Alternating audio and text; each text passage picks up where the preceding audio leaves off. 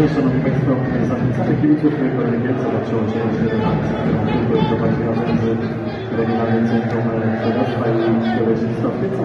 Spotkając w każdy wtorek można dodatkowo otrzymać voucher na kolejny domowy mecz żółto-czerwony.